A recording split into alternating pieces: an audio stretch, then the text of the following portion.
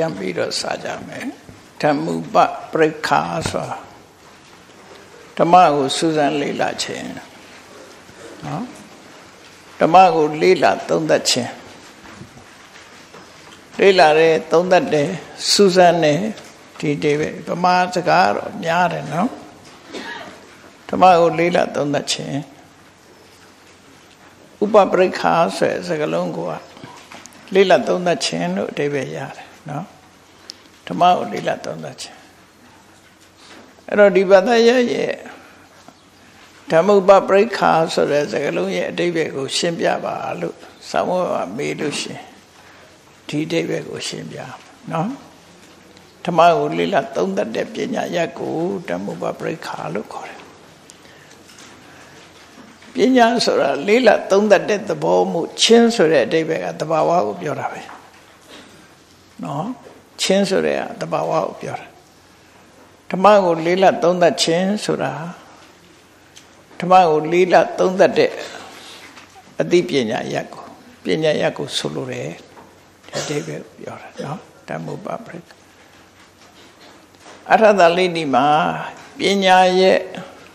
connotation လို့ခေါ်တဲ့စင်ပွားအဓိပ္ပာယ်တွေပြောတဲ့အခါမှာ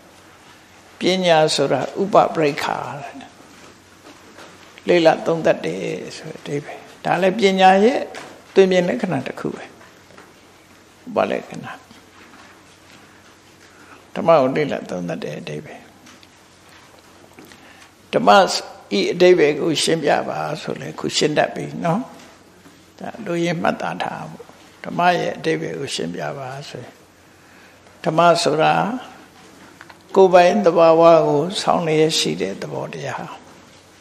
ကိုယ်ပိုင်သဘာဝကိုဆောင်းလျက်ရှိသောကြောင့်ဓမ္မဟုခေါ်တယ်အကြောင်းတရားတွေကဖော်ဆောင်ထားတာဖြစ်သောကြောင့်ဓမ္မလို့ခေါ်တယ်မိမိကိုယ်သဘာဝသဘာဝအတိုင်းသိမှတ်ရသောကြောင့်တဘာဝလို့ဓမ္မလို့ခေါ်တယ်ဆိုတာဓမ္မသိရှိနာလဲအဲ့ဒီဓမ္မကိုသိတဲ့လေးလာသုံးသတ်တဲ့ပညာရက်ကိုဓမ္မဓမ္မပပရိခာလို့ခေါ်တယ်။ ဘာတွေနဲ့လေးလာသုံးသတ်မှလဲဆိုရင်ဝဆနထလက္ခဏာရတာပစ္စုပ္ပထံပဋ္ဌထံဒီအချက်၅ချက်ရှုထောင့်၅ချက်ကနေလေးလာမယ်လို့ပြော။လေးလာမယ်ဆိုရင်တော့ရှုထောင့်ရှိရမှာပေါ့ဘာတွေနဲ့လေးလာမှာတော့ဆိုရင်စကလုံးရဲ့အဓိပ္ပာယ်သိဖို့ရဘာနဲ့လေးလာမလဲဝဆနထဒီဝဆနထကိုပဲအင်္ဂလိပ်လို definition လို့ခေါ်တာပဲ definition ဆိုတာရှိတာ နော်လက္ခဏာဆိုတာ characteristic ရတဆိုတာ function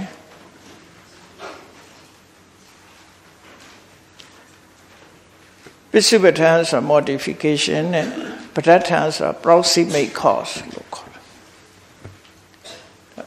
အင်္ဂလိပ်လိုလည်းအသုံးနှုန်းတွေရှိတယ်အဲ့တော့ပါဠိအသုံးနှုန်းအင်္ဂလိပ်အသုံးနှုန်းမြန်မာအသုံးနှုန်းနော် ဒီအသုံးနှုန်းတွေကိုသိထားပြီးတော့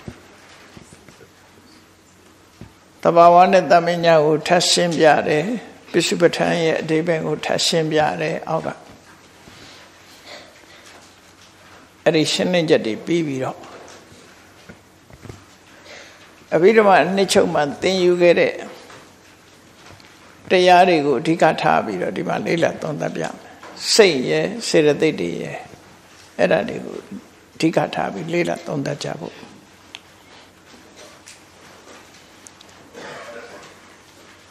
စာတပိုက်လောက်ကိုဖတ်ကြည့်မယ်အာရမဏံစိန်တေတိတိစိတ်တံဝိဇာနာတိတိအထော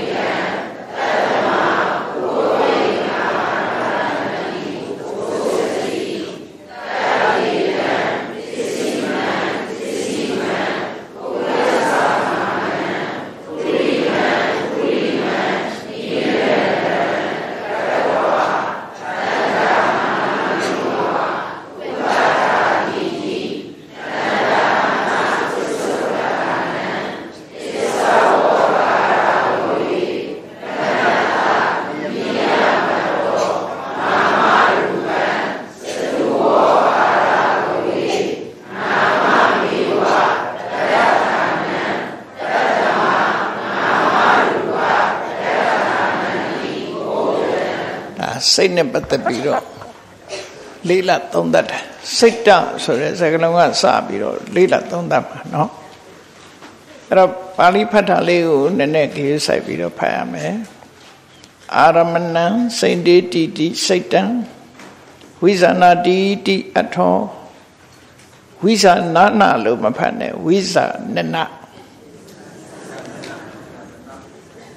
ဝိဇာနာနာလက္ခဏာမဟုတ်ဘူးဝိဇာနနဝိဇာနနလက္ခဏာစိတ်တံပုပ္ပင်္ဂမရတံတန်ဒေဟနလို့ဖတ်တန်ဒါဟနမဟုတ်ဘူးတန်ဒေဟနတန်ဆိုတာက prefix ရှေ့ကထည့်ထားတဲ့စကားလုံးဒေဟနကပုတ်ရင်တန်ဒေဟန တန်လေးတင်ပဲအရင်ဖတ်ပြီးတော့တန်ဒေဟနတန်ဒေဟနပစ္စုပ္ပထာနာနာမရူပပဋ္ဌာနာအဲ့လိုမှန်အောင်ဖတ်ဖို့ဒွါရံပတ္တဝါနောက်ကနှလုံးစင်မှုပတ်လို့ဖတ်ရမယ်ပလို့မဖတ်နဲ့ဓမ္မံပတ္တဝါအာရမဏဝိပဝနဌာနေ စိတ်တမေဝပုပ္ပင်ကမံပုရိစာရိကံတတမပုပ္ပင်ကမရတန္တိဩစတိတဒေတံပစ္စည်းမံပစ္စည်းမံဥဥလို့ဖတ်ဥပစ္စမနာဥမဟုတ်ဘူးနော်ဥလို့ဖတ်ဥပိစ္ဆမာနံပုရိမံပုရိမံနိရန္တရံကတ္တဝါ တံဒဟနမေဝဥပထာတိတိတံဒဟနပစ္စုပဌာနံပင်စဝောကာရဘဝေပင်စကအတိပ္ပယ်တစ်ခုဝောကာရအတိပ္ပယ်တစ်ခုပင်စောလို့လည်းဖတ်နေကြတယ်ရှင်းရှင်းလေးဖတ်မယ်ဆိုရင်ပင်စဝောကာရဘဝေပင်စဝောကာရဘဝေပနတ္တာနိယမတောနာမရူပံ စတုဟောကာရဘဝေနာမမေဝပဋ္ဌာနာတတမနာမရူပပဋ္ဌာနံတိဝုဒ္ဒံစိတ်ဓာတ်ရဲ့အဖွင့်နေအများကြီးရှိတယ်ဒါပေမဲ့ဒီမှာတင့်တော်ရုံတော့တင်ယူထားတာပေါ့နော်ကဲဒါလေးကိုကြည့်တလုံးစီတလုံးစီမှတ်သွားမယ် အာရမဏစိတ်တိတိတိစိတ်တံဆိုတော့ဝဆနထအောင်ပြတယ်ဒါဝဆနထရှေ့တုန်းကပြောရတယ်မဟုတ်လားဝဆနထနဲ့လေးလာမယ်လက္ခဏာနဲ့လေးလာမယ်ရတနဲ့လေးလာမယ်ပစ္စုပ္ပထာနာနဲ့လေးလာမယ်ပဋ္ဌာဒနာနဲ့လေးလာမယ်အခုဝဆနထနဲ့လေးလာတာကိုပြအာရမဏံစိတ်တေတီတိစိတ်တံအာရမဏံပေါ်လာသည့်အာယုံကို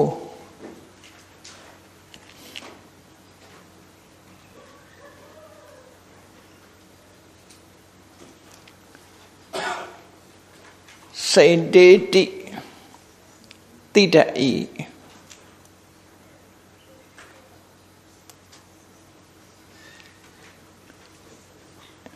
ဣတိထို့ကြောင့်စိတ်တံစိတ်တာမြည်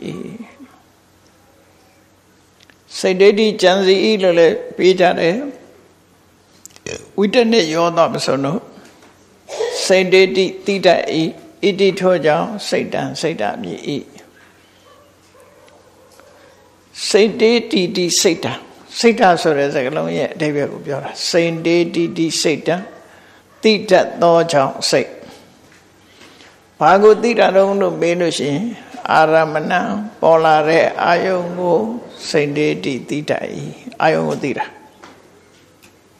နော်ဖြစ်ပေါ်လာတဲ့အာယုံတစ်ခုကိုသိတာအာရမဏအာယုံကိုစိတ်တေတိသိတတ်၏ဣတိထို့ကြောင့်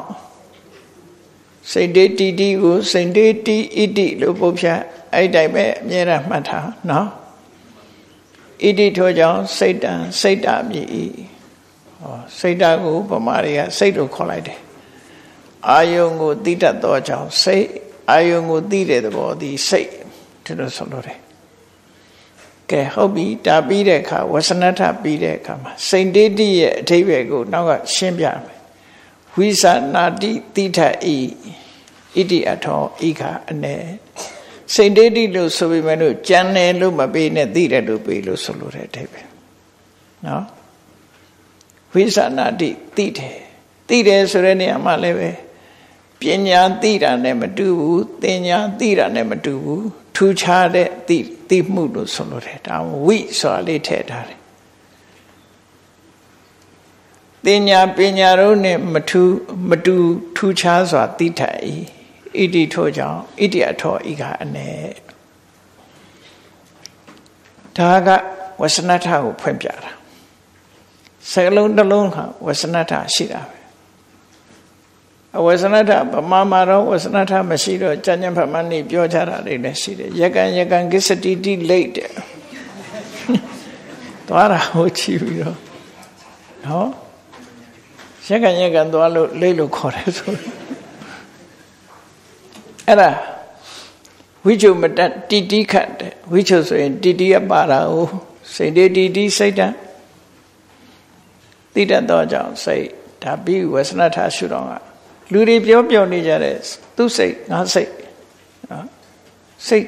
မစင်ကြယ်ဘူးစိတ်ပုတ်တယ်စိတ်ယုတ်တယ်နဲ့ပြောနေကြတာဒီစိတ်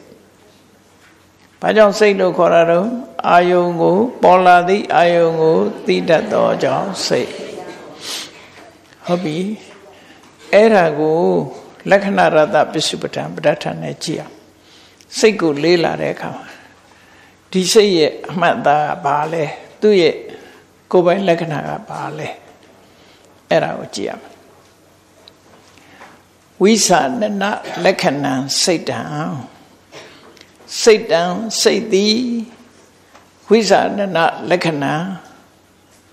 သိခြင်းလက္ခဏာရှိဘာကိုသိရတော့ဆိုအာယုံကိုသိခြင်းလက္ခဏာရှိအပိုထက်ပြောရင်အာယုံကိုသိခြင်းလက္ခဏာရှိဟုတ်လားသိခြင်းလက္ခဏာရှိ သူ့တိုင်းပြီးရင်သိခြင်းလက္ခဏာရှိ ပြည့်စုံအောင်ပြောမယ်ဆိုအာယုံကိုသိခြင်းလက္ခဏာရှိ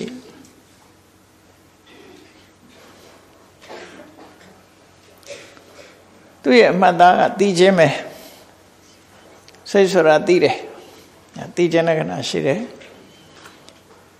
ပုပ္ပင်ကမရတပုပ္ပံကမဆိုတာပုပ္ပဆိုတာရှေ့ကမဆိုတာသွားတာရှေ့ကသွားတာရှေ့ဆောင်တာဥဆောင်တာဆိုတဲ့အဓိပ္ပာယ်နော်ပုပ္ပင်ကမရတံဥဆောင်ခြင်းကိစ္စရှိ အာယုန်တစ်ခုပေါ်လာရင်သူကအရင်ပဲသူကဥဆောင်မှုရှိတယ်သူကရှိသူရဲ့ဥဆောင်မှုမြေထားတွဲကြီးများလို့ခေါင်းတွဲကတွဲသွားတာရှေ့ဆောင်သွားလာလို့ပဲစိတ်ကရှေ့ဆောင်တယ်ဥဆောင်ခြင်းကိစ္စရှိ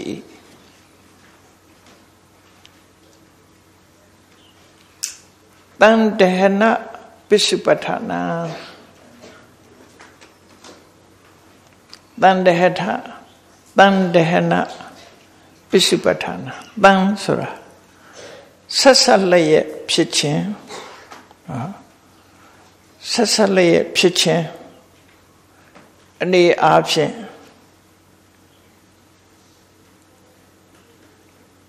ထင်ပေါ်လျက်ရှိဆက်ဆက်ပြီးတော့ဖြစ်နေတယ်စိတ်ဆိုတာဒီစိတ်တစ်ခုဖြစ်ပြီးပျောက်သွားတာမဟုတ်စိတ်တွေက တစ်ခုနဲ့တစ်ခုဆက်ဆက်ပြီးတော့ဖြစ်နေရှေ့စိတ်နောက်စိတ်တွေကမပြတ်ဒလဇတ်ဖြစ်နေတဲ့အစဉ်တန်းကြီးတစ်ခုလို့ပုံစံနဲ့မှပေါ်လာတယ်ဒါဆိုလို့အမှန်တော့စိတ်ဟာဖြစ်ပြီးပြတ်သွားတာပဲပြတ်သွားပြီးနောက်ထပ်စင်စက်မပြတ်ဖြစ်နေသည့်အတွက်ကြောင့်ဖြစ်စဉ်ကြီးတစ်ခုလို့စိတ်ထဲမှာထင်ရတယ်တန်တဟနဆက်ဆက်လေးရဲ့ဖြစ်ခြင်းအားဖြင့်ထင်ပေါ်လာသောပုံရိပ်ရှိ၏ မြေစီများလို့ပဲရှေ့ရကလွန်သွားရင်နောက်ရကရောက်လာတယ်ရှေ့ကကုံသွားရင်နောက်ကရောက်လာတယ်ဆက်ပြီးတော့ဖြစ်နေခြားထဲမှာမလတ်အောင်ဆက်ပြီးတော့ဖြစ်နေတယ်ဆိုတဲ့ပုံရိပ်ရှိတယ်စိတ်ကိုလေးလာလိုက်ရင်အဲ့ဒီပုံစံနဲ့တွေ့ရမယ်စိတ်ကိုရှုမှတ်ပွားများနေတဲ့ပုဂ္ဂိုလ်ရဲ့ဉာဏ်ထဲမှာပေါ်ထင်လာတာကိုပစ္စုပ္ပထန်လို့ခေါ်တယ်နော်ပစ္စုပ္ပထနာ ဉာဏ်ထဲမှာပေါ်ထင်လာတဲ့ပုံသဏ္ဍာန်ပုံရိပ်ကိုပစ္စုပ္ပထာနာဥပဌာနာကာရဆိုထင်ပေါ်လာတဲ့အနေအထားတစ်ခုဆိုလိုတယ်နော်ဒီပုံစံနဲ့ထင်လာတယ်တန်တေဟနပစ္စုပ္ပထာနာရှေ့နောက်ဆက်ပြီးတော့ဖြစ်နေတယ်ဆက်ဆက်မပြတ်ဖြစ်တယ်ဆက်ဆက်ပြီးတော့ဖြစ်နေတယ်ဆိုတဲ့အဓိပ္ပာယ်ဆက်ဆက်လျက်ဖြစ်ခြင်းအားဖြင့် ထင်ပေါ်လျက်ပုံရိပ်ထင်ပေါ်နေသောပုံရိပ်ရှိ၏နာမရူပပရဋ္ဌာနံနာယုတ်လင်းနိကတ်သောအကြောင်းရှိ၏သူရဲ့အနိကတ်ဆုံးအကြောင်းကနာနဲ့ယုတ်ပဲလို့ဆိုလို့တယ်အဲ့ဒါကိုနောက်ထပ်ထပ်ရှင်းပြလိုက်မယ်ဒါစိတ်ရဲ့လက္ခဏာရတ္တပစ္စုပ္ပထပတ္ထနော် စိတ်ရဲ့လက္ခဏာရတ္တပစ္စုပ္ပထပတ္ထကိုရှင်းပြပါဆိုလို့ရှိရင်စိတ်ဟာအာယုံကိုသိခြင်းလက္ခဏာရှိတယ်ဥဆောင်ခြင်းကိစ္စရှိတယ်စင်စဲပြတ်ဖြစ်သောတဘာဝအဖြစ်ထင်းမြင်လျက်ရှိတယ်နတ်ယုတ်ဟာအနိကအကြောင်းဖြစ်တယ်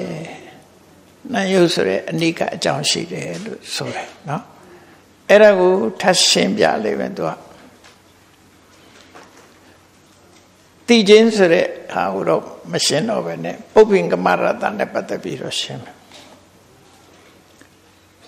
ဒွါရံပတ္တဝါဒွါရသူလျှောက်လာပြီးနောက်ဒွါရသူရောက်လာပြီးနောက်အာရမဏဝိဘဝနဌာနေ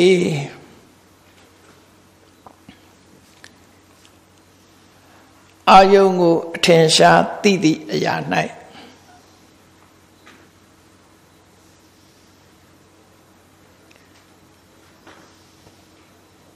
မျက်စိမှာပဲဖြစ်စေနားမှာပဲဖြစ်စေ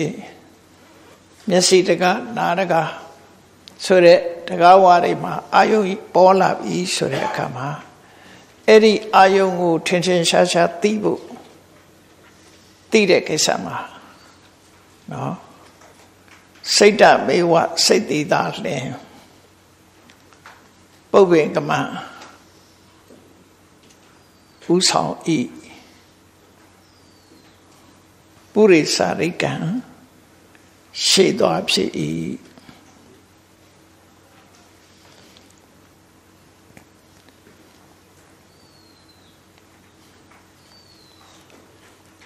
ဒီဖြစ်စဉ်ကြီးတစ်ခုမှာ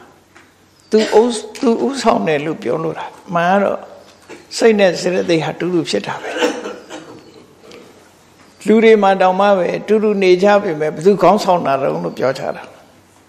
ခေါင်းဆောင်တယ်လို့ရှိတယ်လေခေါင်းဆောင်တယ်ရှေ့သွားလို့ဆိုတဲ့အတိုင်းသူကရှေ့ကကြီးသွားနေတာမဟုတ်နောက်ကလိုက်လိုက်ပဲနာနေနေရှေ့သွားလို့ခေါ်တာပဲသူစီမံဥဆောင်တာဟုတ်ဥစီခေါင်းဆောင်ဆိုတာအဲ့ဒါပြော အရာရာအာယုကိုသိတဲ့ကိစ္စမှာစိတ်ကခေါင်းဆောင်နေတယ်စိတ်ကဥဆောင်နေလို့ဆိုလို့စိတ်ကဥဆောင်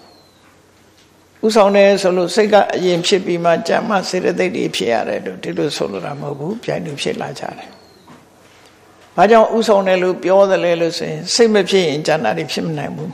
။ခေါင်းဆောင်မရှိရင်ဉာဏ်တဲ့လူတွေမလောက်တတ်ဘူးဒါအထိသေးပဲပြောတာ။ခေါင်းဆောင်ကစီမံပေးတဲ့အတိုင်းဉာဏ်တဲ့လူတွေလောက်ကြတယ်။သွားကြတယ် အဲ့ဒါလိုပဲစိတ်ကစိတ်စီမံတဲ့အတိုင်းပဲအလုံးဖြစ်ကြတာမို့စိတ်ကဟိုပုပ်ပင်ကမှရှေ့သွားကောင်းဆောင်လို့သူတို့ဆိုလို့တယ်နော်ရှေ့သွားကောင်းဆောင်လို့ပြောတာပုရိသရိကရှေ့သွားဖြစ်တယ်တတမထို့ကြောင့်ပုပ်ပင်ကမှရတန္တိခေါင်းဆောင်ခြင်းကိစ္စရှိ၏ဟု၍ဥစ္စတိစွာ၏ နန္တရားတွေကိုဥဆောင်နေတာစိတ်ပဲလောကီကိစ္စတွေမှာစိတ်ကဥဆောင်တယ်ဆိုပြီးတော့မြတ်စွာဘုရားဟောပြီးတော့ပညာကိစ္စဟိုရင်လောကုတ္တရာကိစ္စရောက်တဲ့အခါကျပညာကိုရှေ့တန်းတင်လိုက်တယ်ပညာကဥဆောင်တယ်လို့ပြောတာနော်ဘာလို့အသိဉာဏ်ကအထီးကကြတာမို့လောကုတ္တရာကိစ္စတွေကြတော့ပညာရှေ့ဆောင်ဒါမို့မဂ္ဂင်၈ပါးရှေ့တွက်တဲ့အခါကျတော့ တမာဒိဋ္ဌိဆိုတဲ့ပညာကိုရှေ့ရထားလိုက်တာသူခေါင်းဆောင်သွားတာသူခေါင်းဆောင်နဲ့နောက်လိုက်လို့နောက်ဟာတွေအမှန်နေကြီးဖြစ်ရတယ်နော်အမှန်သိလို့အမှန်တွေးတတ်တယ်အမှန်ပြောတယ်မှန်တာလုပ်တယ်သမွေးမှုမှန်ကန်တယ်ကြိုးစားမှုမှန်ကန်တယ်အာရုံစူးစိုက်မှုမှန်ကန်တယ်စိတ်တည်ငြိမ်မှုမှန်ကန်တယ်ဆိုတာမှန်ကန်မှုတွေကသူ့ချောင်မှုလို့ဖြစ်သွားတယ်ဒါဘုတမ္မာဒိဋ္ဌိကခေါင်းဆောင်ဖြစ်သွားတယ် တော့လောကုတ္တရာအရာမှာဆိုရင်တော့ပညာကဥဆောင်တယ်လောကီအရာတွေပါဆိုစိတ်ကဥဆောင်တယ်လို့ဒီလိုဒေသနာမှာနှစ်ရက်ခွဲဟောထားလေးရှိတယ်ပေါ့တဘာဝအနေနဲ့ပြောရင်စိတ်ကဥဆောင်တယ်ပဲပြောမှာစိတ်ကဥဆောင်တယ်လောကုတ္တရာတရားသိဖို့ကြတော့ပညာရဲ့အခန်းကဏ္ဍကြီးမားသည့်အတွက်ကြောင့်ပညာဥဆောင်တယ်လို့အဲ့ကြပြောတယ်နော်သူ့ရဲ့အခန်းကဏ္ဍဒါပေမဲ့စိတ်မပါဘဲနဲ့ပညာဖြစ်တာတော့ဒီလိုဆိုလိုတာမဟုတ်ဘူး တဘာဝအနေထားအပြင်ကတော့စိတ်ကဥဆောင်တာမှန်တယ်ထူးခြားလာတဲ့အပိုင်းကြတော့စိတ်နဲ့တင်မပြီးဘူးစိတ်ဟာဘာမှစွမ်းဆောင်မှုတလောက်မရှိဘူးအရာရာကိုသိရှိနားလဲဖို့ကြတော့ပညာဥဆောင်တာဖြစ်သွားတယ်ဒီဒိဗ္ဗကိုဆိုလိုတယ်နော်စွန့်ရည်ထက်မြက်လာတဲ့အခါပညာဥဆောင်တယ်လို့ပြောတယ်ဒါကအလုံးအခြေအနေကိုပြောတာပုဂ္ဂိုလ်မာရတာ နေရာတကာမှာစိတ်ကကောင်းဆောင်တယ်ဆိုပြီးတော့စိတ်ကြည်လဲဥစားပေးမနေနဲ့ဒီလိုဆိုလို့တယ်နော်လောကုတ္တရာပိုင်းကြာလို့ရှိရင်တော့ပညာဥဆောင်တယ်လို့ပြောရပြန်တယ်ပေါ့တဘာဝအနေနဲ့နန္တရားတွေဖြစ်လာတဲ့တဘာဝအနေအချင်းပြောမယ်ဆိုရင်စိတ်ကဥဆောင်တာမှန်တယ်ဟုတ်ပြီနောက်တစ်ခါတန်တေဟနပစ္စုပ္ပထနံကိုရှင်းပြမလို့ တတိတံထိုစိတ်သည်ပစ္စည်းမံပစ္စည်းမံဥပ္ပစ္စမနာနောက်နောက်ကဖြစ်လာလည်းရရှိပြီးနောက်နောက်မှာဖြစ်လာလည်းရရှိပြီး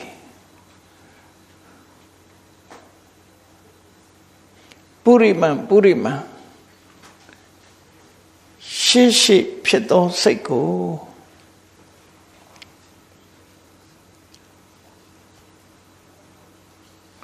နိရန္တံကတ္တဝါအကြလတ်မရှိဆက်ဆက်လေးရှိသည်ကိုပြု၍နိရန္တရံကတ္တဝါအကြလတ်မရှိဆက်ဆက်လေးရှိသည်ကိုပြု၍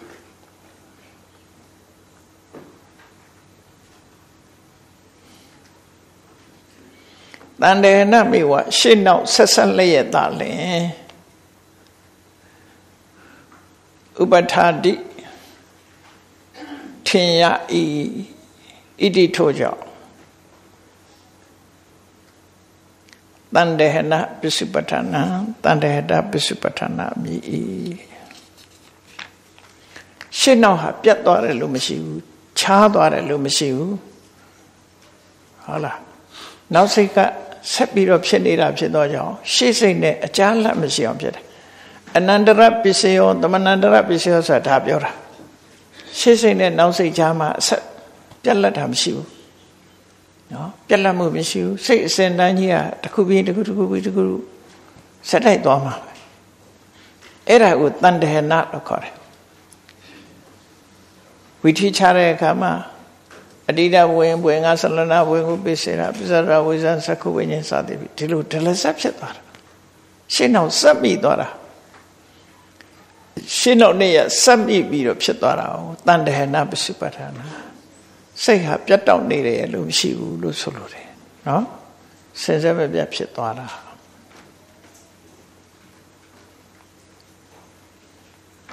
အဲ့ဒါကိုတန်တဲ့အနပစ္စပတ္တနာစင်စက်မပြတ်ဖြစ်နေတယ်လို့ထင်ရတဲ့အသိဉာဏ်ထဲမှာဆက်ဆက်ပြီးဖြစ်နေတဲ့အရာလို့ပြောမယ်ဆိုလို့ရှိရင်ရှေ့စိတ်ကချုပ်ပြောက်သွားခြင်းသည် နေရဖယ်ပေးခြင်းပဲဖြစ်တယ်နောက်စိတ်ဖြစ်ဖို့ chance ပေးလိုက်တာလက်တွဲပြီးခေါ်ဆောင်သွားတာလာငါနေရမင်းနေဆိုပြီးတော့ဆွဲသွားတာရှေ့စိတ်ကနောက်စိတ်ကိုဆွဲခေါ်သွားတာတခါတည်းနေရပေးပြီးသူကပျောက်သွားတာအဲ့လိုဆိုလို့တယ်နော်ရှေ့ဆက်နောက်စိတ်ဟာဆယ်ဆက်မပြတ်ဖြစ်နေတာအဲ့ဒီဖြစ်နေတာတန်တဟနာစင်စက်မပြတ် ဆက်ဆက်ပြီးတော့တစ်ခုနဲ့တစ်ခုဖြစ်ပြောင်းနေတယ်တနည်းအားဖြင့်ပြောမယ်ဆိုရင်အကြောင်းနဲ့အကျိုးဆက်ဆက်နေတယ်ရှေ့စိတ်သည်ချုပ်တာသူကသူဥပတိပင်ကြောင့်ချုပ်သွားတာမဟုတ်ဘူးသူတက်တန်လေးပြီးတာနဲ့နောက်စိတ်အတွက်ဖြစ်ဖို့အခွင့်ပေးထားခဲ့တယ်တတိတွေသူပေးခဲ့တယ်ဒါမို့လို့ရှေ့စိတ်ကအနန္တရပစ္စည်းနောက်စိတ်ကအနန္တရပစ္စည်းပါသူထုတ်ပေးခဲ့တဲ့ဟာဖြစ်တယ် ရှေ့စိတ်ကထုတ်ပေးလိုက်တဲ့အရာဖြစ်တယ်ပေါ့နောက်စိတ်ဟာနော်စစပြပြဖြစ်သွားတာအဲ့ဒီအတိတ်ပဲကိုတန်တေနာပစ္စပတနာလို့သူတို့ဆိုတာ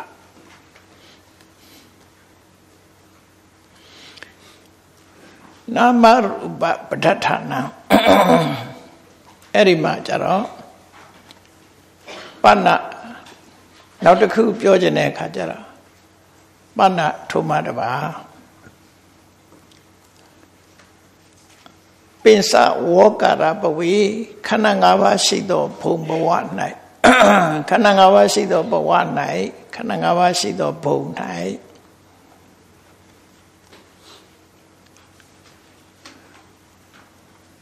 အတ္တထုစိတ်ဤနိယမတော်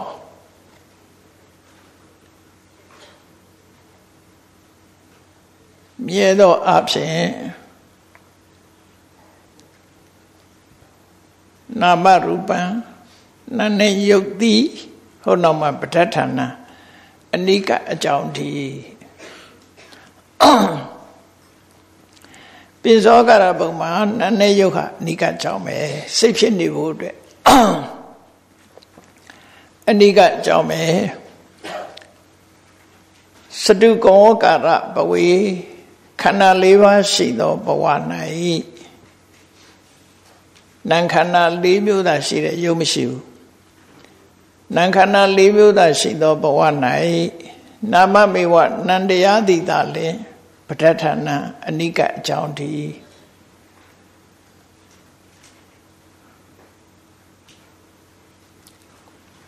တတ္တမထို့ကြောင့်နာမရူပပဋ္ဌာနန္တိနာနှင်းယုတ်အနိကအကြောင်းရှိ၏ နာနှင်းရုပ်ဟုသောအနိကအကြောင်းရှိ၏စိတ်ရဲ့အနိကအကြောင်းဟာနာနှင်းရုပ်ပဲဒါဘာကိုပြောရတော့လို့ဆိုလို့ရှိရင်ပရိစ္ဆေသောဘတ်ကိုကြည့်လိုက်အဝိဇ္ဇပစ္စယသင်္ခါရသင်္ခါရပစ္စယဝိညာဏဆိုပြီးတော့ပရိသေဝိညာဉ်စိတ်လေးဖြစ်လာတယ်အဲ့ဒီပရိသေဝိညာဉ်စိတ်ကလေးဖြစ်လိုက်တာနဲ့တပြိုင်နက်စေတသိက်ဆိုတဲ့နံတရားတွေပါတယ် ကမ္မဇယုတ်ဆိုတဲ့ယုတ်တရားတွေပါတယ်တပြိုင်တည်းဖြစ်တာနော်တပြိုင်တည်းဖြစ်တော့လဲပရိစ္ဆသောဥပ္ပကြရှင်းနောက်လို့ပြောလိုက်တယ်ဝိညာဏပစ္စယနာမရူပံတကယ်ကတော့ခြိုင်လူဖြစ်ကြတာဘာကြောင့်ရှင်းနောက်လို့ပြောလဲဆိုရင်ပရိသေစိတ်ကစိတ်ကပုပ္ပင်ကမဥဆောင်တာဖြစ်တော့ကြောင့်သူ့ကိုသင်္ခါရပစ္စယဝိညာဏလို့တင်ပြောလိုက်တာနော် နောက်တစ်ခါကျသူနဲ့တွဲသူပေါ်မှာဖြစ်နိုင်တာဖြစ်တော့ကြောင်းဝိညာဏပစ္စယနာမရူပံလို့ပြောလိုက်တာအဲ့ဒီနှစ်ခုကအပြန်အလှန်မြတ်စွာဘုရားဟောတာဝိညာဏပစ္စယနာမရူပံနာမရူပပစ္စယဝိညာဏအပြန်လဟောတာရှိတယ်နော်ဝိညာဉ်ကြောင့်နာယုတ်ဖြစ်ရတယ်နာယုတ်ကြောင့်ဝိညာဉ်ဖြစ်ရတယ်အပြန်အလှန်မိခိုးနေတဲ့သဘောကိုပြောပြတာအဲ့ဒီအချိန်လေးမှာ အဲ့ဒါကြောင့်လို့နတ်နဲ့ရုပ်မပါဘဲနဲ့သူဟာဖြစ်နိုင်တာမဟုတ်လို့နတ်နဲ့ရုပ်ဒီသူ့ရဲ့အနိကအကြောင်းပိစောကာရဘုံမှာဆိုရင်ရုပ်လည်းပါတယ်နတ်လည်းပါတယ်အဲ့ဒီပရိသေအခါမှာဖြစ်တဲ့နတ်နဲ့ရုပ်ကိုရည်ညွှန်းပြီးတော့ပြောတာဒီနေရာမှာနာမရူပပဋ္ဌာနာလို့ဆိုတာနော်စိတ်အလုံးကိုကျွတ်တင်ပြီးတော့ပြောလိုက်တာပထမဆုံးစိတ်ကိုရည်ညွှန်းပြောတာကြံတဲ့စိတ်တွေကြလို့ရှိရင် ပေါ်လာတဲ့အာယုန်ဒီပဋ္ဌာန်လို့ဖြစ်နိုင်သေးတယ်နောက်ဟာတွေကြတော့သူပဋ္ဌာန်တွေအများကြီးဖြစ်လာပြန်မယ်ဟုတ်ကဲ့လားဒါငခုစတင်လာတဲ့အခြေအနေတော့ယုတ်နဲ့နာဝိညာဏပစ္စယနာမရူပနာမရူပပစ္စယဝိညာဏဒီလိုအပြန်အလှန်မြတ်စွာဘုရားအဲ့ဒီနှစ်ခုဟောတာတုတ်တန်မှာကြဝိညာဉ်ကြောင့်နာယုတ်ဖြစ်တယ်နာယုတ်ကြောင့်ဝိညာဉ်ဖြစ်တယ်အဲ့ဒီနှစ်ခုကဆက်ဆက်နေတယ် အပြန်အလှန်ဆက်ဆက်ပြီးတော့ဖြစ်ပေါ်နေသောကြောင့်အနိကဆုံးအကြောင်းဟာနာယုတ်ပဲဝိညာဉ်ရဲ့အနိကဆုံးအကြောင်းဟာနာယုတ်ပဲစိတ်ရဲ့အနိကအကြောင်းဟာလည်းနာယုတ်ပဲလို့ဆိုတာဒါကိုဆိုလိုတယ်ဒါမို့ဒီမှာဒါရှင်းတာနော်ဒါကိုရှင်းတာပိဇောကာရဘုံမှာဆိုရင်ခန္ဓာ၅ပါးရှိသည့်အတွက်ကြောင့်မွေးကြတဲ့ကပရိသေဝိညာဉ်စိတ်လေးဖြစ်လိုက်တာနဲ့တပြိုင်နက်စေတသိက်နဲ့ ကမ္မစယုတ်တွေဖြစ်တယ်အဲ့ဒီစိတ်ဖြစ်ပေါ်လာခြင်းရဲ့အနိကဆုံးအကြောင်းဆိုပြီးတော့ဝိညာဏပစ္စယနာမရူပနာမရူပပစ္စယဝိညာဏလို့ပြောတာတနည်းအားဖြင့်ပရိသေဝိညာဉ်ကိုပြောချင်တယ်ဆိုရင်သင်္ခါရပစ္စယဝိညာဏသင်္ခါရသည်အနိကအကြောင်းလို့ပရိစ္ဆေသောဘရှုတော်ကပြောလို့လည်းရတယ်ဒါရှုတော်တစ်ခုကပြောတာ ပရိစ္ဆေသောဥပနဲ့ဖြေမယ်ဆိုရင်ဝိညာဉ်ရဲ့အနိကအကြောင်းကဘာလဲဆိုရင်ဘယ်လိုဖြေမလို့သင်္ခါရသင်္ခါရရဲ့အနိကအကြောင်းကဘာလဲလို့ဆိုရင်အဝိဇ္ဇာပရိစ္ဆေသောဥပမှာအဲ့လိုသွားပရိစ္ဆေသောဥပနဲ့ကြည့်လိုက်ရင်လည်းရတဏှာရဲ့အနိကအကြောင်းကဘာလို့ဆိုရင်ဝေဒနာဝေဒနာပစ္စယတဏှာဥပါဒံရဲ့အနိကအကြောင်းကဘာလို့ဆိုရင်တဏှာဟုတ်လားဝေဒနာရဲ့အနိကအကြောင်းကဘာလဲဆိုရင် ဖတ်တာဖတ်တာပစ္စယဝေဒနာနောက်ကျဒီလိုဟောတာတွေလည်းတွေ့လာလိမ့်မယ်နော်ပရိစ္ဆေသောဘရှုတော်ကလည်းပြောလို့ရတယ်လို့ဆိုတော့အဲ့တော့စာဆိုတာသွားမငင်းရဘူးသူရှုတော်နဲ့သူပြောတာလို့ဘောဓုတရှိတဲ့လူကမငင်းဘူးမရှိတဲ့လူကတကြောင်နဲ့မှတ်ပြီးရှောင်ငင်းနေတတ်တယ်အငင်းစရာမဟုတ်ဘူးနော်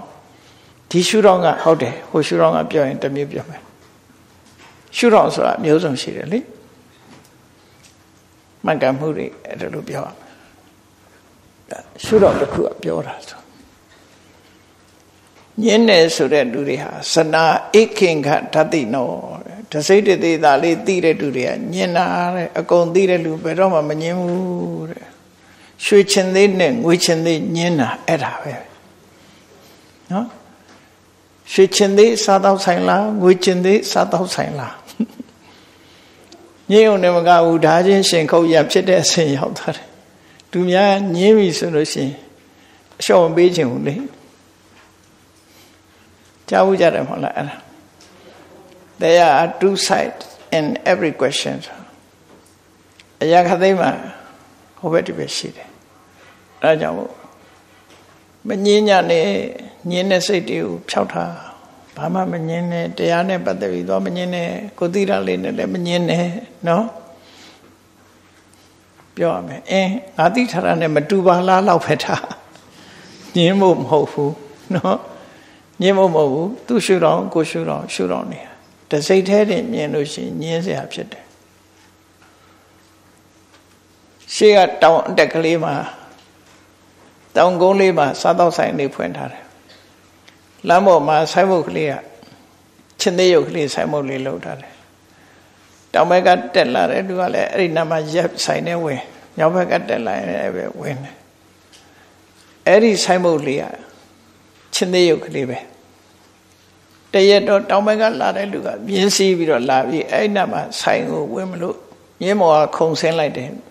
သူနဲ့ပဲတပြိုင်နက်ဆုံပြီးသွားတယ်မြောက်ဘက်ကလာတဲ့လူကလည်းမြင်းမော်ကနေခုံဆင်းလိုက်တယ် ခုံဆင်းလိုက်ပြီးမြောက်ဘက်ကလူကအပေါ်မောကြည့်လိုက်တော့သူ့ဘက်ကမောကြည့်ပြီးတော့အော်ရွှေချင်သိစားတော့ဆိုင်ပါလားရွှေချင်သိလို့ပြောလိုက်တယ်ဟိုဘက်ကလူကမောကြည့်လိုက်မောကြည့်ပြီဟာဆရာကြီးခင်ဗျားမှားနေတယ်ရွှေမဟုတ်ဘူးပြငွေစားပြီးညင်းလာတယ်ရွှေမဟုတ်ဘူးငွေဆိုတော့ခင်ဗျားကကျုပ်ကိုရွှေနဲ့ငွေနဲ့မကွဲဘူးလို့ပြောချင်တာလား ရံဖြစ်ကြပါလေရောရွှေနဲ့ငွေနဲ့ရံဖြစ်ကြတာအဲ့ဒီမှာဖြံပြေးနှစ်သမီးကရောက်လာပြီးရက်လိုက်ဆိုပြီးတော့ဘာအတွက်ရှင်တို့ရံဖြစ်ကြတာလဲငါတို့ကအမှန်တရားအတွက်တိုက်ပွဲဝင်နေကြ fighting for truth လူကကိုကအမှန်တရားအတွက်ကြည်ပဲသူကလည်းအမှန်တရားအတွက်ငါတို့ကတိုက်ပွဲဝင်နေကြတာတဲ့ရှင်းပြပါအောင်ရှင်ဆိုပြောတယ်ဟိုက ငါကရွှေချင်သေးလို့ပြောတယ်ဒီကောင်ကငါ့ကိုရွှေနဲ့ငွေနဲ့မခွဲဘူးဆိုပြီးရန်စတယ်ဟိုလူကလည်းကျွန်တော်ကငွေမှုငွေလို့ပြောတာသူရွှေလို့ပြောတာမှားနေတာကိုကျွန်တော်ထောက်ပြတာကိုယ့်အနေကိုကင်ထားကြတာအဲ့ဒီတော့နတ်သမီးကဟိုဘက်ဒီဘက်ကြည့်ပြီးကဲဟိုဘက်က gentleman ဒီဘက်လာပါလူကြီးမင်းတောင်ဘက်ကလာတဲ့လူကြီးမင်းကမြောက်ဘက်ကနေကြည့်ပါဆိုမော့ကြည့်တော့ရွှေတချမ်းငွေတချမ်းလှုပ်တယ် ဟိုဘက်ကဟုတ်တယ်ရွှေနဲ့လှုပ်တာဒီဘက်ကငွေနဲ့လှုပ်တာနှစ်ဖက်လုံးမြင်ညင်းကြမှာမရှိတော့တာဟုတ်လားရွှေတစ်ဖက်ငွေတစ်ဖက်လှုပ်တာအဲ့ဒါပြောတာ there are two sides in every question ပြဿနာတိုင်းမှာအမြင်နှစ်ဖက်ရှိတယ်မြတ်စွာဘုရားကိုယ်တိုင်ကလည်းဟောတာလေသနာဧကင်္ဂဓတိနောတချမ်းမြင်တဲ့လူတွေဟာညင်းနေကြတာတဲ့ဝိကရှနံဝိဝထန္တိသနာဧကင်္ဂဓတိနော တချမ်းမြင်တဲ့လူတွေညင်းနေကြတာတဲ့အကုန်လုံးမြင်ဘာမှညင်းကြမရှိဘူးတဲ့ညင်းမယ်လို့ကြရင်ငါတချမ်းပဲမြင်သေးတယ်နော်လို့ကိုယ်ကိုတတိပေးပြီးတော့နော်တချမ်းပဲအမြင်နဲ့ညင်းနေကြတာတဲ့အဲကြောင့်မြင်မညင်းကြနဲ့လို့ပြောတာနော်အငင်းကလည်းတန်ညတယ်လေကဲစိတ်ရဲ့ပဋ္ဌာန်းသည်ဝိညာဏနာမရူပဟုတ်ကလားဝိညာဏပဋ္ဌာန်း ကဲဒါရှင်းလင်းချက်ရောပါရောဒါသိပြီနော်အဲ့တော့ပါဠိကိုဆိုရင်ခက်တယ်ပြောကြမှာမခက်ပါဘူးနော်မခက်ဘူးအတိပ္ပယ်သိသွားရင်မခက်တော့ဘူးမဟုတ်လားသိသွားရင်မခက်ဘူးခက်တယ်ဆိုတာမသိခင်လေးပဲခက်တာသိသွားရင်မခက်တော့ဘူးအာရမဏံစေတေတိတိစိတ်တံ ဝိဇာနာတိတိအထောဟုတ်ပြီဟောအင်္ဂလိပ်လိုပြန်သင်လဲဒါတွေအင်္ဂလိပ်လိုပြန်သင်တာပဲအင်္ဂလိပ်ဘာသာတတ်ပြီးပါဠိဘာသာမတတ်တဲ့လူတွေဒီလိုပဲသင်ရတာနော်အဲ့တော့ကို့မှာခုနခရီးတစ်ဝက်ရောက်ပြီးဘာလို့လဲဆိုကာကြီးခဝေတွေနဲ့ရေးထားတယ်ဒါဖတ်ဖို့ရခရီးတစ်ဝက်ရောက်နေပြီနည်းနည်းဖတ်တဲ့အနေထားလေးပဲပြောင်းအဲ့တော့ တလုံးစီတလုံးစီရဲ့အထိပ္ပယ်လေးတွေကိုမှတ်သွားမှတ်သွားမယ်ဆိုရင်အခုစကလုံးကြီးအများကြီးရသွားပြီနော်အသစ်တွေအသစ်တွေလာပြီးသားတွေလည်းထလာလိမ့်မယ်ကိုယ်ပိုင်ဖြစ်မှ vocabulary ဖြစ်မယ် familiar word ကိုယ်ပိုင်ရင်းနှီးသွားတဲ့စကားလုံးဖြစ်အောင်ကိုယ်ရင်းနှီးအောင်လုပ်ယူနော်သူ့ကိုစိန်ကားရင်သူကလည်းစိန်ကားလိုက်မယ်သူ့ကိုအေးလုံးမှသူကပြန်အေးလုံးလိုက်မယ်နော် ဘက်တော့မလိုက်တတ်ဘူးသူကနော်သူနဲ့ရင်းနှီးအောင်နေခေါင်းခုမအိတ်နဲ့ရှင်တဲ့နှလုံးနဲ့ရောက်အောင်ဒါစာအုပ်ကိုခေါင်းခုမအိတ်နဲ့ခေါင်းထဲကိုစိတ်ဝင်လာမှာမဟုတ်ဘူးနော်ဟုတ်ပြီစိတ်တဆိုတာ ਨੇ ပတ်သက်ပြီးစိတ်ရဲ့လက္ခဏာကို ပြောပြပါဆိုရင်ဘယ်လိုပြောအောင်နော်စိတ်ဟာ အာယုံကိုသိခြင်းလက္ခဏာရှိတယ်စိတ်ရဲ့ကိစ္စကဘာလဲဥဆောင်ခြင်းကိစ္စရှိတယ်ရတပစ္စုပ္ပထံကဘာတော့လို့ပြီးရင်အဆက်မပြတ်ဖြစ်တဲ့အနေအားဖြင့်ပေါ်လာတဲ့ပုံရိပ်ရှိတယ်အနိကအကြောင်းကဘာလို့လဲဆိုရင် ဟုတ်လားနာနဲ့ယုတ်ဒီအနိကအကြောင်းတရားဖြစ်တယ်အဲ့ဒါဝိပဿနာရှုတဲ့အခါမှာစိတ်ကိုရှုပြီးဆိုရင်သိတဲ့သဘောအနေနဲ့ရှုရမယ်လို့ပြောတာလက္ခဏာစိတ်ကိုဝိပဿနာရှုရင်ငါစိတ်ငါစိတ်လို့သွားမရှုနဲ့ဩအာယုံလေးပေါ်လာရင်သိလိုက်တဲ့သဘောလေးပါလားအာယုံပေါ်လာတဲ့အခါမှာသိလိုက်တဲ့သဘောထွက်လေဝင်လေလေးမှတ်နေရင်ထွက်သွားလို့ထိတဲ့နေရာလေးကိုသိလိုက်တယ်ဝင်လာလို့ရှိရင်ဝင်တဲ့ ထိမှုလေးကိုသိလိုက်တယ်အဲ့ဒီသိတဲ့သဘောတရားလေးတွေဟာစိတ်ပါလားဆိုတော့သိတယ်ဒါဘာကိုသိတာတော့ဆိုစိတ်ကိုသိတာပဲတဘာဝလက္ခဏာအပြင်ရှိတယ်ဝိပဿနာတရားမှာညာတပရိညာဆိုတာအဲ့ဒါပြောတာသိရမယ့်ဟာကိုသိနေတာနော်ကပ္ပရာထုတ်ပြီးညာတပရိညာဆိုတာစိတ်ရဲ့သဘောကိုပြန်ရှုတယ်ထွက်လေဝင်လေလုံးတဲ့အခါမှာလေ ထွက်လေဝင်လေလေးကိုမှတ်ပြီးတော့ဝင်နေထွက်တယ်ဆိုတဲ့လေလေးကိုမှတ်နေတာကတစ်ခုနော်တမထာကျင့်စဉ်ကိုကျင့်တဲ့အခါမှာလေလေးထိသွားတဲ့နေရာဝင်နေထိတဲ့နေရာလေးကိုဝင်နေထွက်တယ်လေလေးကိုမှတ်တယ်ဒါကသမထကျင့်စဉ်အဲ့ဒီရှူသွင်းလိုက်တဲ့အခါမှာနှာသီးပြားကိုထိသွားတယ်ရှိုက်ထုတ်လိုက်တဲ့အခါမှာနှာသီးပြားကိုထိသွားတယ် ထိသွားတဲ့အခါမှာလေးကိုမမှတ်ဘဲနဲ့သိလိုက်တာလေးတွေကိုမှတ်တယ်ဆိုရင်ဒါစိတ်ကိုသိတာနော်ဝင်ဝင်တဲ့လေလေးထိသွားတဲ့အခိုင်လေးမှာသိတဲ့စိတ်လေးပေါ်ပေါ်လာတယ်အဲ့ဒီသိတဲ့ဟာကိုမှတ်လို့ရှိရင်စိတ်ကိုမှတ်တယ်လို့ခေါ်တယ်နန္တရားကိုမှတ်တယ်အဲ့ဒီထိလိုက်တဲ့အချိန်လေးမှာတိတိလာတယ်သိတဲ့သဘောတရားလေးပါလားလို့ဆိုပြီးတော့စိတ်ကိုရှာတွေ့တာ ဒါဝိသန္ဒနာလက္ခဏာစိတ်တနော်အဲ့ဒီသိမှုလေးတွေဟာအာယုပေါ်လာလိုက်တိုင်းပေါ်လာလိုက်တိုင်းရှေ့ကခေါင်းဆောင်နေတာပါလားဆိုသဘောပေါက်လားရှေ့ကနေခေါင်းဆောင်သွားနေတာပါလားဆိုပုပ္ပင်ကမရတာဟောဒါသူသူဆောင်ရွက်နေတာလေးကိုသိလာတယ်စင်စဲမပြတ်သိလာတဲ့သဘောကိုရှုမှတ်လာတဲ့အခါကျတော့ တန်တဟနာပစ္စုပန်နာရှေ့ကအသိနဲ့နောက်ကအသိဟာဆက်ဆက်သွားတာပါလားဆိုတဲ့သဘောတရားတွေလူတွေရဲ့ညံ့ထဲမှာအော်ဆက်ဆက်ပြီးဖြစ်နေတဲ့အရာပါလားရှေ့နဲ့နောက်နဲ့ဟာဆက်ဆက်ပြီးဖြစ်နေတဲ့တဘာဝတရားပဲလို့သိတာပစ္စုပ္ပန်ညံ့ထဲမှာပေါ်လာတယ်အဲ့ဒါဘာကြောင့်အဲ့လိုဖြစ်နေတာတော့ဆိုရင်နာနဲ့ယုံရှိနေလို့ဟောအနိကအကြောင်းကိုသိတာ ကပ္ပရရှုပြီဆိုတဲ့အခါမှာနာမရူပပရိစေဒညာအဆင့်မှာအဓိကကဘာလို့ဆိုရင်လက္ခဏာရတပစ္စုပ္ပထနာမရူပပရိစေဒညာရဲ့အဆင့်ပဋ္ဌထံရောက်ပြီဆိုတဲ့အခါမှာပစ္စယပရိခာညာနော်ပစ္စယပရိခာညာသို့တော့ပစ္စယပရိခာညာရောက်တဲ့အခါကျတော့အကြောင်းတရားကိုသိမှုကပို့ပြီးတော့လွှမ်းမိုးလာတယ် မလွှမ်းမိုးခင်နမရူပပရိစေရညာအခိုက်မှာလည်းပဲအကြောင်းတရားလေးတွေကိုသိသိလာတတ်တယ်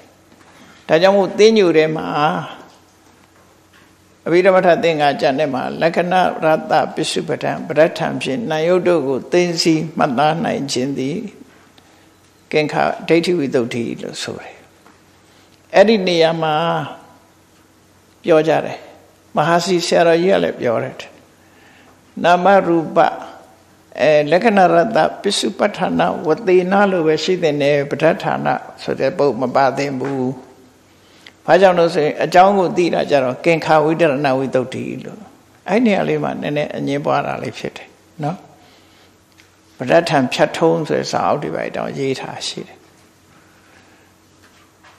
ညာတပရိညာအပိုင်းမှာဆိုလို့ရှိရင် तू ကသိเสียကိုသိတာပဲရှိတယ်ပေါ့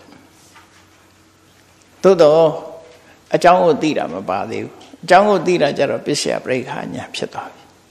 အဲ့ဒီညာနှစ်မျိုးဟာပေါင်းဆက်သွားတဲ့အခါမှာဝိပဿနာရဲ့အခြေခံအကြောင်းတရားဖြစ်တယ်ညာတပရိညာအပိုင်းမှာဒီညာနှစ်ခုဟာအဓိကဖြစ်တယ်ပေါ့နော်နှစ်ခုပေါင်းလိုက်လို့ရှိရင်တော့လက္ခဏာရတပစ္စုပ္ပတ္ထနာပဋ္ဌာနာဝတိနာဆိုတာဒီညာနှစ်ခုပေါင်းသွားတယ်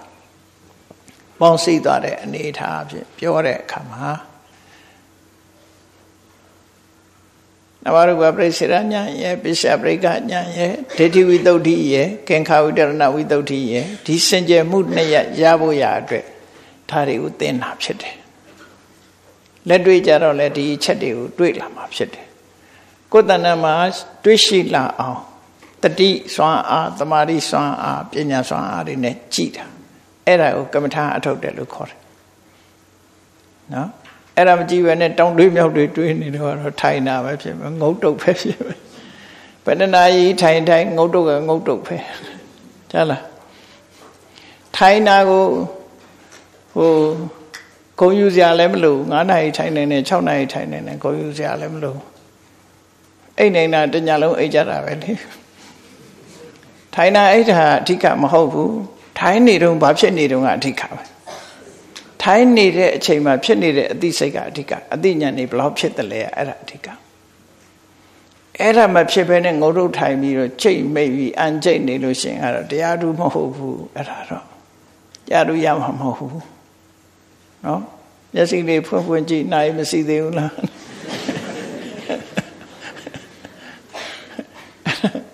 အဲ့ဒါကြတော့တရားမဟုတ်မတရားတာတွေဖြစ်နေအဲ့တော့အရေးကြီးဆုံးကကိုယ့်ကိုယ်အသိဆုံးပဲ လူတွေဟာထိုင်နေတာကိုဂုံယူနေတာလည်းမှားတယ်နော်မှားတယ်ဟိန္ဒူယောဂီကြီးတွေနဲ့ပြိုင်ပြီးတော့ထိုင်မှလာဟိုကလာချီထိုင်တာကြဘယ်လိုလုပ်ထိုင်တာထိုင်နေစွမ်းရည်ကတတ်တတ်ပဲလေ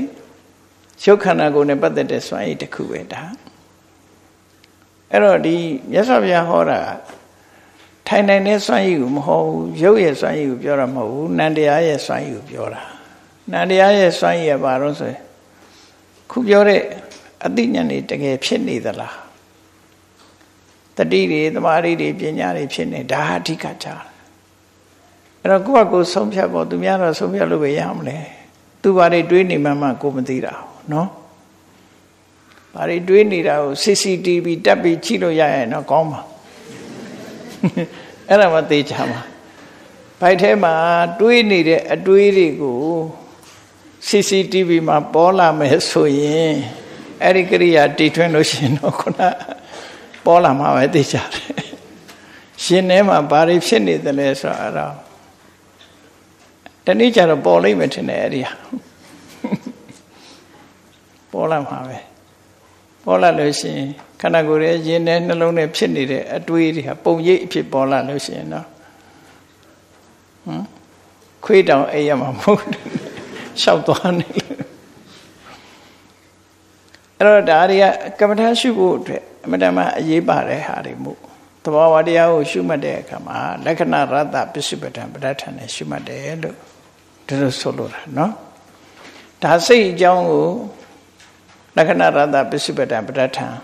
ဝဆနထဆိုတဲ့အချက်၅ချက်ရှုတော့၅ချက်၅ချက်ကလေးလာလို့ပြီးပြီနော်လေးလာလို့ပြီးပြီဖတ်တာအကြောင်းကိုလေးလာမယ်နောက်တစ်ခုစေတသိက်တွေကိုစပြီးလေးလာ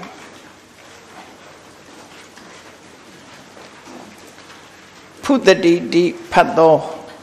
သွားယံဖုတနာလက္ခဏောတန်ခတနာရတောတဏိပါဒပစ္စုပ္ပထာနောအာပါထကတဝိတယပဋ္ဌာနောအဲ့ဒီစာပိုင်လေးကိုဖတ်ကြည့်လိုက်အဲ့လောက်လေးပဲဖတ်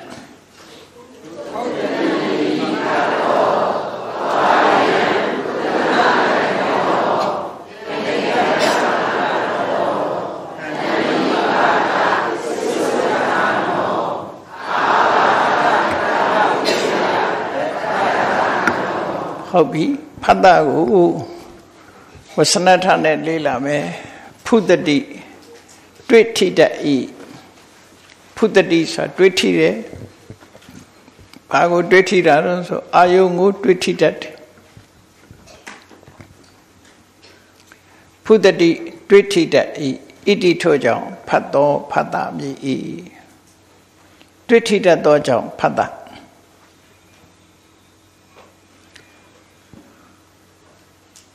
သွားယံကိုတောအယံလို့ပုတ်ဖြတ်သွားအယံတောအယံတောနဲ့အယံနှစ်ခုတွဲထား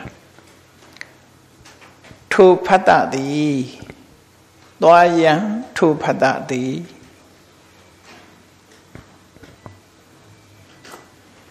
ဖုတနာလက္ခဏောအာယုံကို တွေ့ထိခြင်းလက္ခဏာရှိ၏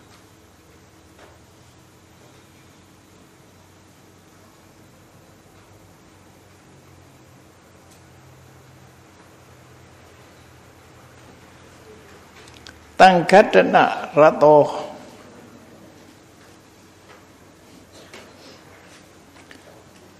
စိတ်နဲ့အာယုံ ရိုက်ခတ်မိခြင်းကိစ္စရှိ၏စိတ်နဲ့အာယုံရိုက်ခတ်မိခြင်းကိစ္စရှိ၏ထိခိုက်တယ်တိုက်ခိုက်တယ်စိတ်နဲ့အာယုံရိုက်ခတ်သွားစိတ်နဲ့အာယုံ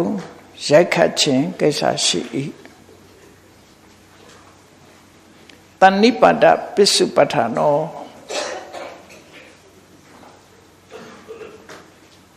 ဆုံစည်းမှုကြောင့် ဆုံစည်းမှုကြောင့်ဖြစ်လာသောတရားအဖြစ်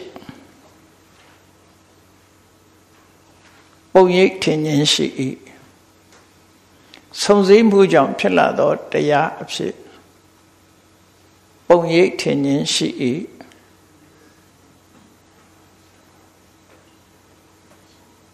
အာပါထကတဝိတယပဋ္ဌာနောအာပါထဆိုတာ လမ်းကြောင်းလေးကိုရောက်လာတာလမ်းကြောင်းလေးကိုရောက်လာတာအာပါထဆိုတာလမ်းကြောင်းကိုရှေ့ရှုကတရောက်လာတာဝိတယကအာယုနော်ဒါ literal meaning ပေါ့နော်အာပါထကတဝိတယပဋ္ဌာနောထင်ပေါ်လာသောအာယု ဒီဟုသောထင်ပေါ်လာသောအာယုဟုသောအနိကအကြောင်းရှိ၏ထင်ပေါ်လာသည့်အာယုဟုသောအနိကအကြောင်းရှိ၏ထင်ပေါ်လာသည့်အာယုဟုသောအနိကအကြောင်းရှိ၏နော်ဖတ်သားရဲ့ဝဆနထာဖုတတိတိဖတ်တော့ကဖတ်သားရဲ့ဝဆနထာဖုဒနာလက္ခဏောကဖတ်သားရဲ့လက္ခဏာ တန်ကတနာရတောကဖတ်သားရဲ့ရတတဏိပါဒပစ္စုပ္ပထာနောကဖတ်သားရဲ့ပစ္စုပ္ပထာအာဘာထကတဝိတယပဋ္ဌာနောကဖတ်သားရဲ့ပဋ္ဌာန်လို့အဲ့တော့ဖတ်သားဆိုတဲ့တရားကိုဘယ်ပုံရှာတွေ့တယ်ဆိုတာကိုဒီရှုတော်နေကနေလေ့လာတာเนาะကဲဒီနားလေးမှာရကြအောင်